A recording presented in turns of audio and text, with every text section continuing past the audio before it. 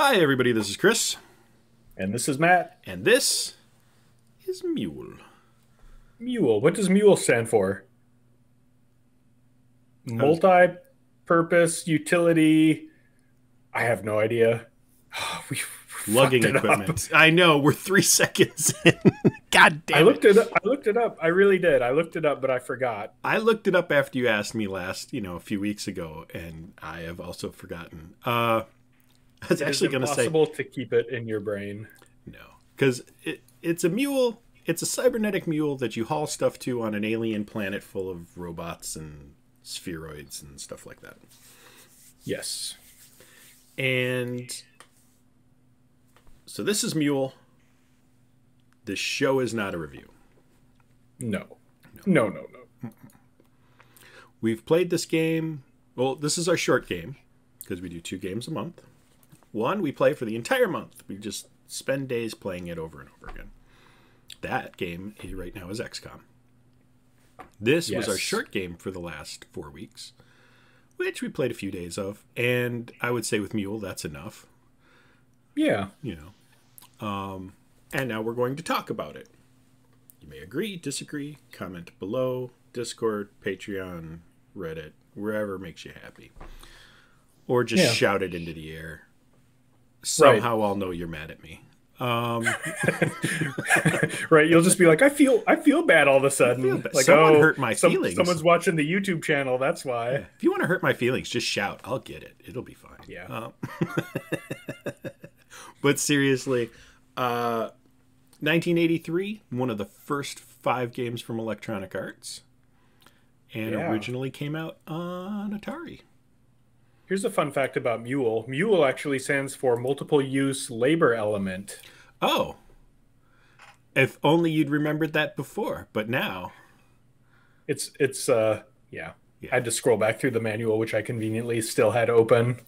let's talk about the manual. You know, normally we jump into the history of the game and stuff, but since you mentioned the manual, what are your feelings on the manual? Um overall it's a really I think it's a really good manual because it has it's full of tips, it has a frequently asked questions and there's a section at the back that I love where it's the developers telling you their strategy for Mule and like how they play and it kind of gets into a little bit of the dynamic between the developers when they play. Mhm. I think that's fantastic, but it does leave out a few things and it's it's not very concise. Um like the the first time I became frustrated with the manual, I was I was at the store and I was like, oh shit, I forgot. Like it was like the first time I played, I forgot what the icons are for like Mhm. the there's different resources you can build. Yeah. And I was like, which one is food? And I was like, oh, it's going to be in the manual. It's on the back page of the manual, which in real life would be great because you just flip it over and there it would be. But in the Right. age of the internet, when you're when you're dealing with a PDF, that's a, a bunch of scrolling to get to something that should be like central, you know? Right. And like when I obviously when I played this years and years ago, I didn't even have a manual. So I you figure it out eventually, but hmm I mean it, it- there's not a lot of moving parts to it. My complaint was mostly with this screen. And I think Yes. concise is the thing it's very apparent no one edited this because there's sort of no organization to the manual. The information is mostly in there, uh, and it feels good to read, but it doesn't do a manual's job of getting the information to you concisely. Yeah. Yeah. This is a very process given driven game because you're going to do one thing, then another thing, and then things change. And like it, it, it should be like a board game manual more than it kind of meanders. It's, it's, it's a little hard to like take it all in and understand it. what are you laughing at? what? what? Take exactly what we just said and replace manual with the lost sectors, it's the same description. it desperately needs editing. Meanders all over the place is hard to take in. 10 out of 10. Yeah. 10 out of 10. Thanks for watching. Oh, all right. Uh, sorry, I just had that thought. I'm like, man, we are the biggest fucking hypocrites. yeah. Right. Gives you very little useful information. No useful Actually, information. It's chock full of useful information. You just have to noodle around to find yeah, it. you got to dig. It's not gonna. It's not gonna be like bullet pointed for you. Yeah. Oh my god, there's there's my wake up call of the day. All right. Anyway. Yep. So that's our view on the manual. My issue is specifically with this screen. Mm-hmm. Where they should talk about what the characters are and do. They're like, you can pick multiple characters, and you don't hear about them again until tips at the end when they talk about two of them being balanced for money, Mm-hmm. specifically the humans and the bird creatures. Mm-hmm. but they don't talk about any of the others. And it's kind of suggested that the others might have different things, but I don't know. I don't know. Like, do they all have different powers? Do they all do different things? It'd be cool if they did. But- some of them are labeled like beginner. Some of them are labeled advanced or something. But I can't So- figure out why. Right. Like the little. I usually play the the testicle or the uh, Mr. Happy, Okay. which are the top right and the middle right. that There's guy, Mr. the Happy. Packer. Yep. Yep, Do you remember those little Mister. Little Mrs. books? Little Yes, I Mister. I love. I collected those. That was like Did the you? first thing I ever collected. I loved those books. I was more of a Richard Scarry guy. Mm, sure. Sure. It's More of a Richard Scarry guy. Yeah. So, I gotta say, anyway, before we get into our childhood, childhood book. yeah, what did you read as a kid? Audience, go comment on whatever. Mhm. Uh, I read John Bellairs when I got to be a young adult, Okay. and that's what got me into like Edward Gorey because Edward Gorey did all the illustrations, and I loved it. Yep. Anyway, let me say real quick that I just now got the the little guy in the helmet with the the antenna. I thought that was an alien this whole time. I was all excited because I know you like it when there's no humanoid in the game, Mhm. but it is a humanoid. Yeah. It tells you in the manual it's a humanoid. Yeah. But I thought because it looked like It looked I thought those were like eye socks. Yeah. No, But no. it's antennas for his helmet. Sorry. Anyway. Anyway, I do think it interesting that the human is the one that's penalized, Yeah. as opposed to human is the easiest choice. Right. Right. That breaks the the video game trope. And then, rather than going across the spectrum to the robots as being the easiest choice, they went with bird things. Sure. Right. Just do it. Hey, hey, Chris. Hmm. You want to know something real clever? What? The planet you're on, What? The planet? Earth? Irata. Oh, Irata? Read it backwards. Read it backwards. Uh, ta- oh my God, it's Atari. I figured that out. You it, Did you? I'm so proud of you. Thanks. Alucard is Dracula spelled backwards. No, Doctor Acula. Um, This this conversation makes perfect sense to us. yes. Hopefully, people watching are with us on it. I just don't know anymore. well, that's sort of the. I mean, at this point, that's the fun of our show. Is we Yeah. go off the rails. We do weird things. It's just us talking. Um, usually about the game. Sometimes about other things. Sometimes about other games. All right. So let's try our damnedest to get this back on track. Let's, let's get into it. Atari, Commodore, IBM PC, eventually MSX2, NES, the PC 8801, Mark II, the Sharp X1. All these Very things portable. had versions. Uh, Nintendo had a ver- yeah, Nintendo had a version, and that was actually one of the reasons the developer broke away from EA. Is, I mean, if if you know your video game history, 1983 was the great video game crash or Atari fatigue or whatever you want to call it, where Mhm. cartridges basically collapsed. And one of the reasons was was computer games were picking up speed. Um, among many other reasons. That's not even an oversimplification. It's not even the main reason. Um, and she felt that you know Nintendo had and cartridges still had a community video game aspect to them that was worth pursuing. And Electronic Arts was like, no. right. Which is a sad story. There's a great quote from Danielle Bunten Berry that I put in the notes. When I was a kid, the only times my family spent together that weren't totally dysfunctional were when we were playing games. Consequently, I believe games are a wonderful way to socialize. Yes. And that really highlights what this game and, and most of our other games are really Mhm. about. They're like all multiplayer, kind of this board gamey, strategy gamey kind of Yeah. thing. I had like she also said um, no one ever was on their deathbed saying they wish they spent more time alone in front of their computer. And in my head, I went. The first thought I thought is I will, and the second thought is Yep. well, that's because they're alone.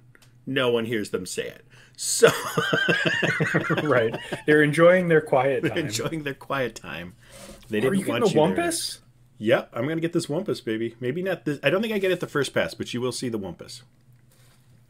Yes. Anyway, we'll talk about the Wumpus. We'll talk about the Wumpus. I got a lot to say about that Um, Wumpus. But she was a hard proponent of multiplayer games and really pushed towards them. And most of her games tried to do this family game aspect. And there's the thing I want to say about this this game needs a board game.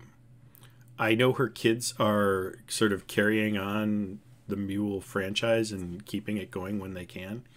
Mhm. I I want a Mule board game. I want to sit down at my table and play an Agricola style Mule game. Totally. It would be a good time. It would it's like perfect for it. This is yeah. And Yeah.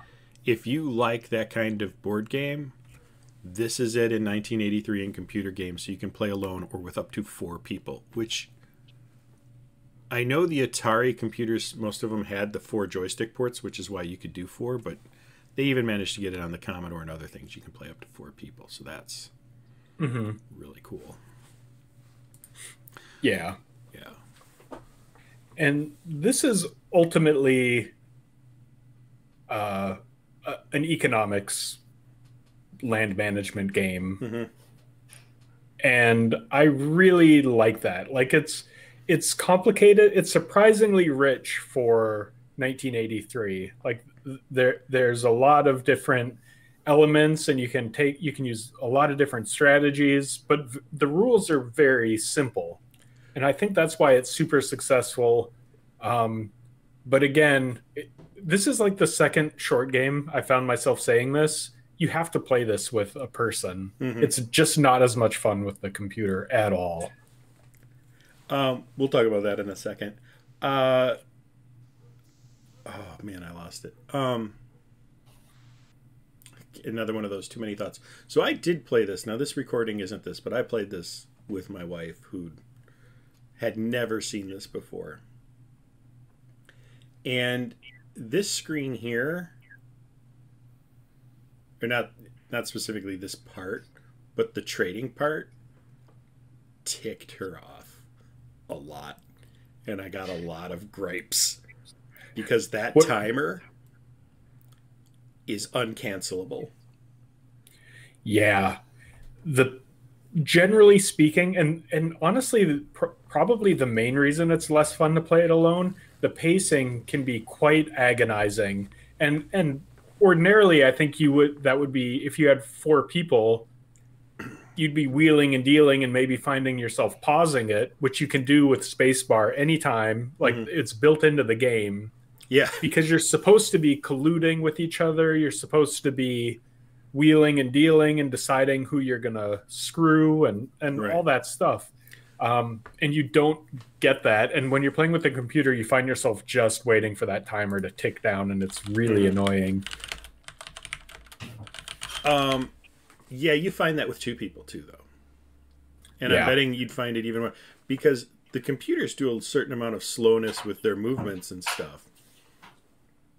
But playing with people, those timers, everybody gets a timer. Everybody's, you know, it's gonna slow the game down even more. And I I think you'll really start to feel it if you go past two people. I mean, other people will have to speak for it. And this is why one of the things where I think the game's more interesting in standard mode, where there's land purchases and, and other elements to the game that don't exist in beginner mode. Mhm. But it is the difference between six turns and 12. And 12 to me is too many turns for this game. Right. There's two modes. There's beginner mode and standard mode. And if you play standard mode, the economy is richer Yes. By quite a bit, and and the experience I think is overall better. But it goes on for 12 turns, and a, a lot can change in those 12 turns, and it kind of feels a little more diffuse than you want it to. Like you want to feel like you're manipulating the economy, and you're like, you know, hmm uh, um, having a huge impact, but like it, over 12 turns, so much changes, and it just it feels a, a little more slapdash, and that's quite a long time to play Mule, especially when you're waiting for that timer to tick down Right. so many times. Mhm. So I wish you could play standard mode with six turns. Right. Or let you pick how many turns you want to play. Like, I want to play 6, 9, or 12, and have that Mhm. be a slider on the game starting screen hmm would have been perfect. Uh, And there's also a tournament mode, which we didn't talk about, didn't talk where about- there's a whole nother There's resource type. yeah. There's literal collusion where you can mess with people Mhm. along with um, a new resource together. Crystal something. I yeah, forgot what it's crystallarium called. or something. Yeah. So that's kind of cool. And that's that's the thing I was trying to remember to say earlier when you were talking about the economy and it, it feels very rich and it feels very deep. But still approachable because no system is deep. It relies on multiple systems bumping into each other to create Right. depth. And Right. that is really like here we're just no one has anything to buy we're just all sitting there Yeah. watching Yeah, that's agonizing. um but like the the you know the colony needs energy. Do i not buy some smith ore this time and try to do some energy grabs? Or do how do i what am i doing long term short term to try and win this game? While at the same time you're talking about colluding to screw people and that's important but you can't screw people too hard. Mm-hmm. Because if the colony if the overall colony doesn't pass a threshold everyone loses Right. that's fascinating It's a very, very interesting game, and it, it there's a lot of dynamics involved. We, we should probably just talk about how it operates because Yeah, you wanna start if you that? haven't played this, yeah. So you start, you choose your race and your color, and and the color thing is another very oddly paced because it just like cycles through them, mm-hmm. and it's very slow. It's very slow. and i don't get why that was the choice for color when push in a direction was the choice for character Yes, that is a very good point. like you knew there was a better option you didn't cycle characters on the screen and make us click you consistency Right. in ui design in 1983 or consistency in user experience was not a thing and it shows here um, games Yeah. that did it did it by accident or did it because someone was way ahead of their time right? Um, yeah. So anyway, so you get through that, and then they drop you off at the colony, which takes a thousand years. Mhm. Like it's this animation; it takes a really long time. And then and then you do a land grant. And the way that works is there's a box that scrolls through every square on the screen, Mhm. and whoever hits the button first gets the land. Right. And there's there's three different types of land kind of with different oh you got the mountain wumpus so I'll pause here for you to just take it in and enjoy. oh my god yeah. The elusive mountain wumpus boy i tried i tried and tried to get that wumpus but i just could never never make it happen he's a finicky uh wumpus he's very difficult Right. to catch. I'll pop it back 10 seconds and we'll kind of watch again. There's a little black dot that's going to appear. Now, when I used to play as a kid, I thought it was a graphic glitch. I didn't know it was somewhere I was supposed to head to. Mm-hmm. and you basically run onto the the mountain with the little blinky light. Mm-hmm. That's him opening his door, his front door, Yep. and then and then you've caught him, and then he gives it tells you in the manual he gives you money, To but really he doesn't give you that much. And, and well, so here we are not talking about what happens because I got so excited by the Wumpus. I know. But there's there's two ways to get money at the end of your turn. You can catch the Wumpus or you can go to the pub. Well, you get And- if you catch the Wumpus, you still get to go to the pub. True, So true. There's two ways. You can do both. Yeah. But but the amount of money you get at the pub depends on how much time you have left. So it's kind of No. like a balancing. Yes, it is. I, I'm telling you, I have ended it with very little time left and gotten a hundred, and I've ended it with a lot of time left and gotten sixty. I trust the manual on that. I didn't even pay attention because I just trusted the manual, but that might be true. I mean, just there like, oh, might be time. some time related thing in there, but I'll be damned if I can figure it out because I I read the manual and thought that too, but it's not my experience. Hmm. That is interesting. Well, allegedly, Allegedly. it translates to how much time. but anyway, the Wumpus moves around and it's hard to catch. Mhm. Um, so anyway, so you you choose Land the land you want. The the the dashes in the middle are river. The little hills are hills, and the flat parts are plains. Now the Um, river tricked me because I didn't realize that was a river. I thought it was a path Yes, yeah, it's a river. until I read the manual, and then I'm like, oh, it's a river. I should Yep. put food there. like I was just you- putting food everywhere as a kid. I'm like, you food, you get food. Yeah, so really, like the river squares are kind of important because there's only four of them, Mhm. and if you put food on the river, you get more food. If you put energy on the plains, you get more energy, and if you put miners on the hills, you get more smith ore. right. And those are really the three main resources until you get to tournament mode, and then there's a fourth that's basically just money. yeah. Um, and that's still part of mining, so it's not right. right. So you do that, and then you you get your first square of land, then it becomes your turn, and then you get a a mule from the mule store, and then you choose what you want to put on your land. You outfit your mule, and then and then you're on a timer, and that relates to how much food you have. Mm-hmm. It's very complicated, and like you, really, you can get away with a food shortage in this game Yes, very easily. So that but That's if you one of the interesting- food, it spoils. right. So don't just put a bunch into farms in your 12 turn game and expect that you're gonna go nuts. Yeah. It's it's so interesting. Um anyway, so you use Smith ore t- the store uses Smith ore to make mules Mm-hmm. and energy is used by the mules to mine. Yes. So you you're balancing those three resources and then you're and then you're trading them between turns, which is what's going on now. And then there's also a store that you can always sell to just for kind of a shitty price. Right. So you can see how all those things play together to make a very complicated, dynamic uh, game. Yeah.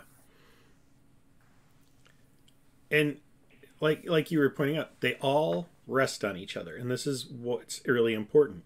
Having each of these elements alone and not leaning into each other would still make a complicated game because you'd still have a lot to balance. But having food affect your timer on how far you get the mules out, having Smith ore make more mules, having uh, energy be needed or the mules don't produce anything, food Right. or anything else. I mean, the colony can you need you need to keep an eye on the colony to keep it from spiraling down the drain, while at the Mhm. same time trying to push yourself above everyone else by taking advantages, you know, by creating a certain amount of shortages so other people have to hurt, but you don't want them to hurt too much. And Right. that's just really well done. Um, It's quite it's quite brilliant. Mm-hmm.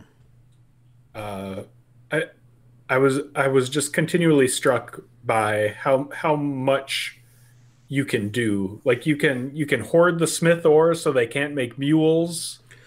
That was one of the things I saw that surprised me in the manual. They're like, if you really need to like you know, mess with the rest of the team, rest of the colony, and you've got the money and the time, get a mule, take it outside and let it go. Just mm-hmm. let it go. then yep. people who come after you in the turn don't have as many mules to do things with. It's like, wow. Yep. What a great evil concept. So here, like, I'm short on energy, and yep. other people have energy, so they're going to want to sell. I'm going to want to buy. We're going to want to try see, and meet in the middle. Like you're you're smart here though because there's so much energy yep. available. The store has a lot, the people have a lot. It's not going to be expensive. So right. like you're better served here by putting that money into some or putting your uh, resources into something that's more scarce. Mm-hmm. And, and, so you have to like keep that in your head all the time yep. when you're playing this. But energy also doesn't spoil, so it's kind of risky because there's nothing that stops them from just sitting on it, then turning those farms into something else for a couple turns. Right, and and then there's additional strategy involved with how you place your stuff. Like if you have two squares next to each other, that are producing food, you get bonuses. And if mm-hmm. you have like, I think it's three or something, if you have more squares that are producing one thing, then you get additional bonuses. But then at some point, your returns diminish. Right. And there's events that happen. So this is, there's a lot going on in this game. Uh, and again, for 1983, it's super brilliant if you can kind of get past the pokey interface that should be a board game. Right. And I think even in 1983, like seeing this as graphics wouldn't have excited me. Mm-hmm. Like this isn't making me go, "Ooh, I need to play this game." You know? Yeah. Your experience sitting down to play this the first time is a little bit like, "What the fuck am I looking at?" Right. It it's not clear what anything is. Like you really need the manual. Mm-hmm. Uh, it, it can be it can be challenging to get into. Uh, and maybe some other people had a different experience back then. Have you heard of this before now? Mule? Yeah. I, I had heard about it coming and going uh, a little bit. That was sort of my experience too. Like, I knew the name when I first got it. Uh, it, But, um. so disappointing. I've paid for it since then. Uh, when I first heard about it. I'd heard the name, but no one talked about it. None of my friends were like, "You got to play Mule." You, you know, right. there's this drive for it, and I'm I've always wondered why that is, because it is it's an amazing game. Um, mm-hmm. It really is. Yeah, except for the timer. Like that is the only give me a button to cancel the timer when everything's done. Like if all players press button, kill timer. Mm-hmm. Huge.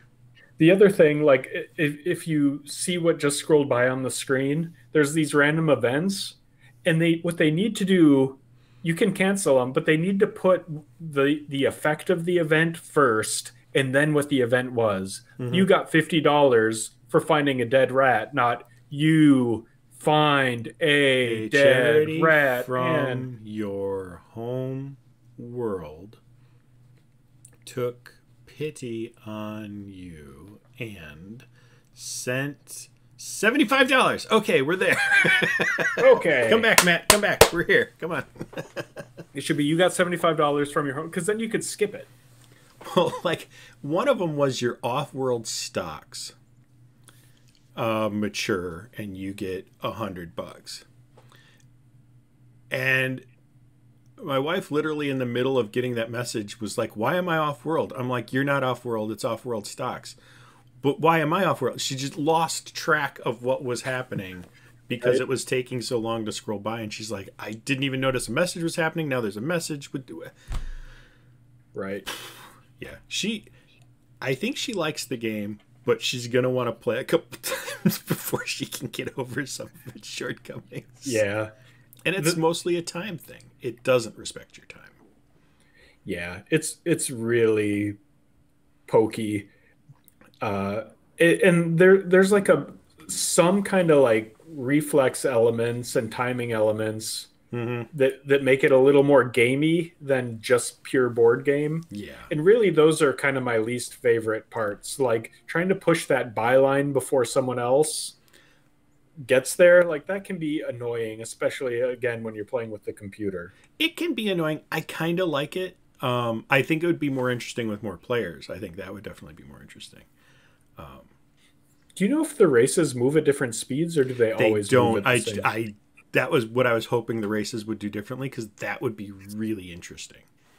yeah, some sell faster, some buy faster. Right. Some That- just move the line cool. faster in general. Something. Something to help differentiate those races a little bit would have been cool. Yeah, um, But whatever. yeah, but when you do these, like, there's three resources, and and you auction two of them, or do you auction all three? Yeah, you don't you don't auction Smith ore. Not really. No one's buying. you Smith just or you just sell it to the. Yeah. store. Uh, but to sit through these auctions over and over again, I mean, uh, that tiring. said, if I was playing in a more tournamenty edition and I didn't want people to make mules, I might buy Smith ore at a higher price. And that's true. That's true. That's yeah, that's a good point. So it's possible, but I, in practice, never happens. Yeah, You'd have to have a very specific situation for that to be a strategy. It's not impossible; it's just unlikely. yeah. Um, but it's it's good and it's like a it's it's like economics for kids Yeah. because you learn about supply and demand and you and then there's like the store mhm. uh which is you know kind of always there but except when it's not and then like then you're like oh i get what it means to have a market cornered and have a monopoly on a resource like it's quite lucrative Yes. If you like games like Agricola or Catan, you check this out. Yeah Uh, Catan just made me think when I was going to say Catan, one of the things I think would be interesting in this sort of game for them to add and improve would be like with Catan, you can get longest road or Mhm. other things like that that earn points. Like, I would love to see, you know, River Valley, you own all four of the river tiles. Or, Yeah. you know, uh, corner market and you get all four corners of the map or you know something like that where you get bonuses for doing interesting things with your land purchases Right. Right. And, and there's also land auctions too. So like that it would play into that really nicely Yeah. because you'd be like, Oh, I need that corner and it's up for auction and everyone would know and you'd like have to Yeah, you're gonna play pay for more. it because you're going for Yep. that that uh, bonus so Yep. yeah i could see this game being really interesting i'd also wouldn't mind um, one of the things Catan and those kind of games do too is it's not a number of turns. Number of turns is an interesting mechanic because it puts a nice hard cap. But it could also be interesting to take the turns off. And I know I said earlier that six is the perfect number of things for this, but if we're spitballing and dreaming of a perfect mule, uh, some people might be like, nah, we're going to sit down, we're going to do this all night. Turn off the term limit and set a goal. First person to a million dollars. First person to like 20 plots of land. First person to 100 Smith ore or some goal that that's Yeah. the victory condition. Yeah, that would be fun. That'd be fun. It'd be If- fun if to have you some had all variants night. on this. Yeah. Yeah. Well, you'd have some people who know how to rush it. Like they just Right. get to that condition. It would it'd create different style. It'd create different strategies of playing the game by setting different victory conditions without changing the game's nature at all. And I think that would Right. help really add some replayability and interest to the game. Yeah. Yeah. I, I think it it's probably maybe one of the reasons you didn't hear about it too. This seems like more geared for a little older people. Well, so, Like- yeah. Go on. Sorry. Well, I, I, I just I can't picture playing this and being 12 or 10. Maybe not 10. What I was going to say yeah, is here's 12 the, I think I could do. 12 I think I could do. Here was what I was going to say. Like I could see playing when I was 12. I could maybe even say when I was 14. But shortly after that, the other strategy games are going to start drawing my attention.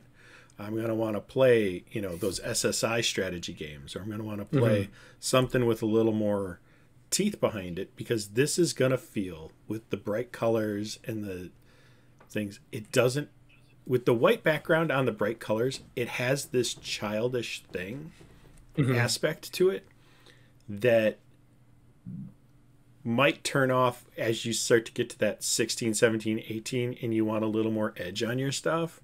Yeah. This doesn't have that edge.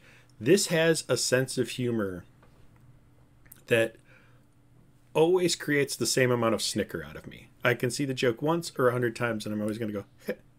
and that's it. It's a yep. pleasant heh. Right. But that's all it's going to get. Hundred percent. That percent. That nails exactly like the the tone of this game. Right. It's lighthearted and yeah. The bird gets an extra four hundred dollars as its nest egg. like, you know, like I get it. I see yep. what you did there. That's cute.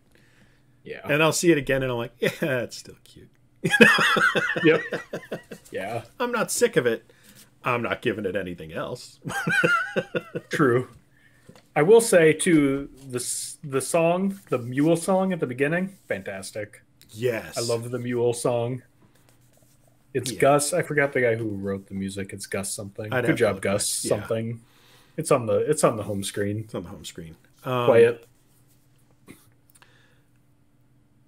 Yeah, I, I, all the developers on this did a really good job. The game's, you know, the timer needs some work, but I think for 1983, I can overlook that user experience issue. I'd love to see this. I wouldn't want anyone to try and remake this. You won't. Yeah.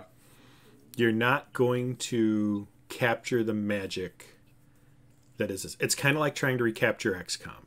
You're going to have to catch the spirit of it and then break literally everything else. Mm-hmm. Like if you want to know why the Firaxis XCOM worked, it's because it managed to catch the emotions you got from playing XCOM without recreating XCOM. Yeah, I, I think I think the the you know the next version of Mule is really just Vice with the network play.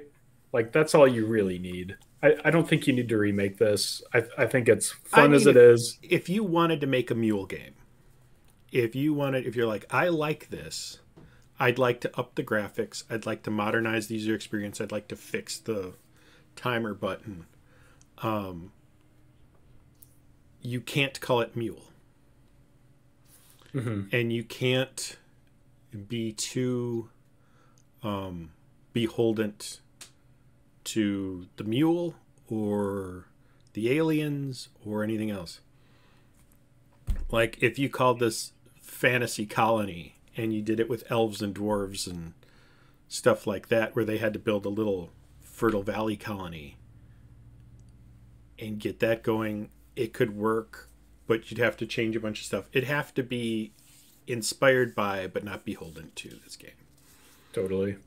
Mule is its own thing. Mule is its own thing. It's a beautiful thing even with its flaws. Uh what's your pinnacle and pit there matt?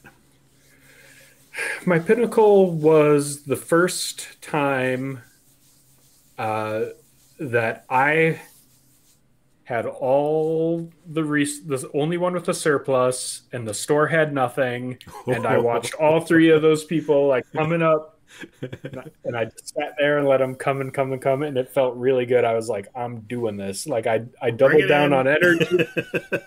I was like, I'm just gonna buy food everyone's got the river plots. I'm just gonna double down on energy and hope for the best. And then some events happened, and it was it like went in my favor, and I was like, yes.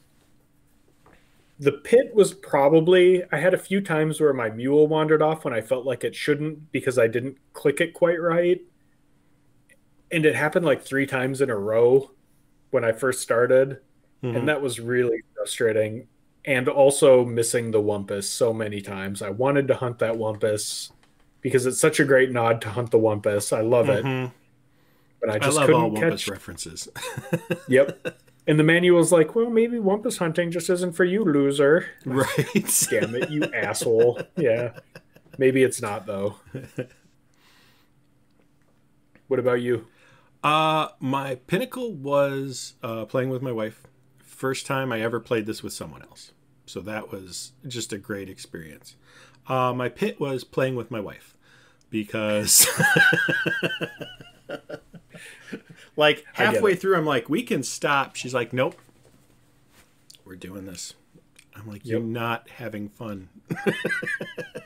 Yep. She's like, it's the timer. It's just the timer. It just kills me. I'm like, The modern gamer is not as patient as the 1980s gamer because you said the load time on this That's is what I was about high. to say. Like, like you're, you're primed to like okay this is a game where i'm gonna wait a lot yeah, I was gonna say the timer probably didn't feel as bad back then because it took like three minutes to load the game. Like the timer is fast comparatively. It's all about what you're standing next to when you're comparing things like the Right. timer. yeah But yeah, it's and, and there's another thing too. If you want the timers to go faster, you want less food. right no, no, the timers don't affect the store buying, and that's the thing that's really your your timer issue. yeah yeah your mule placement timer Mm-hmm. that's rough Yeah, yeah, just watching the stores. No one's moving in the store. Timer's just ticking down. No one has anything to sell. No one wants to buy anything. We're just standing around. yep Yep.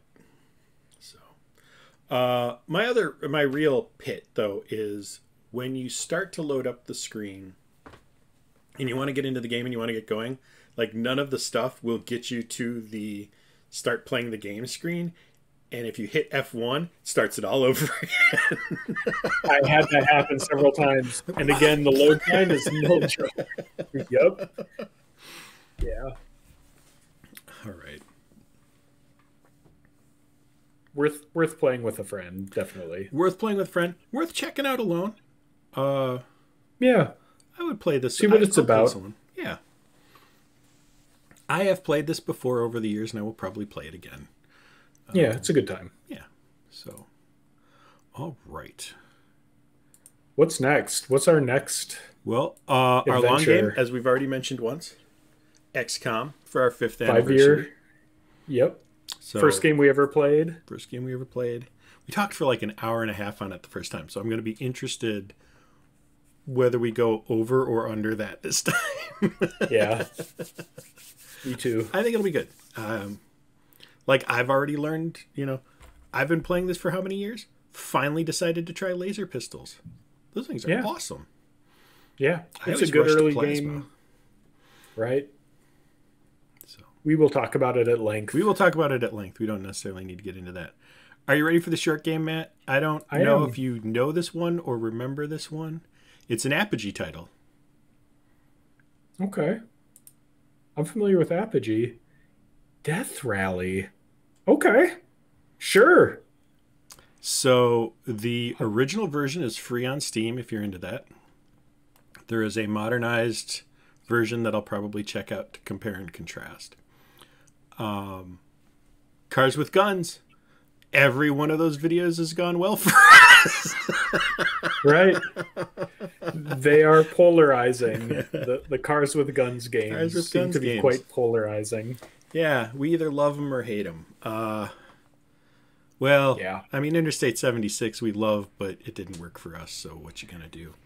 Yeah. Um, This week we should be doing our long Nox Arceus stream. oh yeah. Get that done. What's coming up? That's coming up.